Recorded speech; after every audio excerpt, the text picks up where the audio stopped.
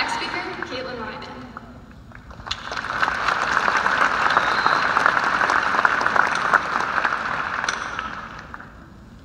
You take a deep breath as you walk through the doors. It's the morning of your very first day.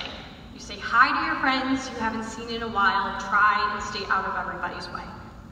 These words by Taylor Swift could not be more true to the start of our high school career. Four years ago, we walked in the big glass doors ready to start a new adventure in our book of life. We were scared, a bit lost, and overly obnoxious in the halls. But within our four years, we found ourselves and our places in Millard West.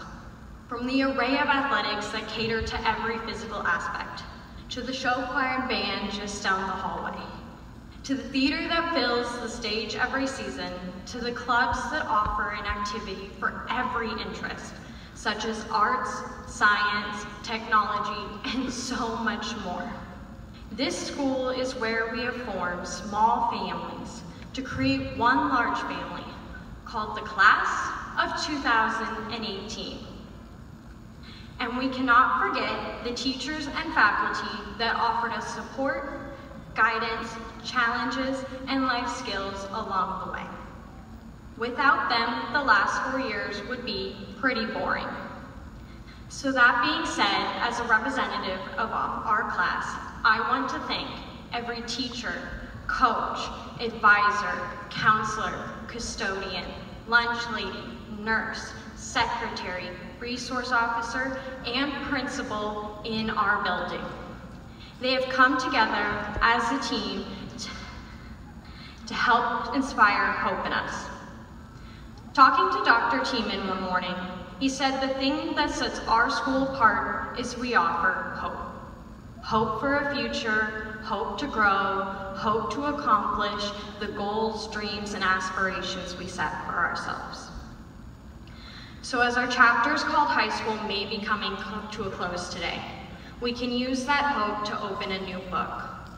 Whether you are going to a four-year college, a community college, a trade school, straight into the workforce, into the military, or taking a gap year, it is my desire that you take the hope from Millard West into your future chapters.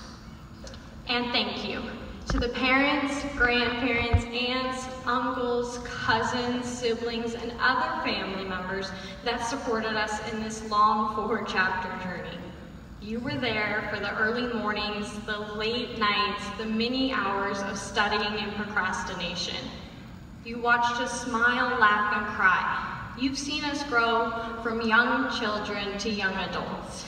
You are the biggest influences in our lives. And lastly, thank you to each and every graduate here today. We've shaped each other and grown together. Some of us met in kindergarten, others just this year. But either way, we have come together as a whole to create one large family. We have come together to support each other through every struggle and accomplishment. So congratulations, class of 2018, for accomplishing the last four chapters of high school. And remember, take a deep breath as you walk through the doors in your next chapter of life. Thank you.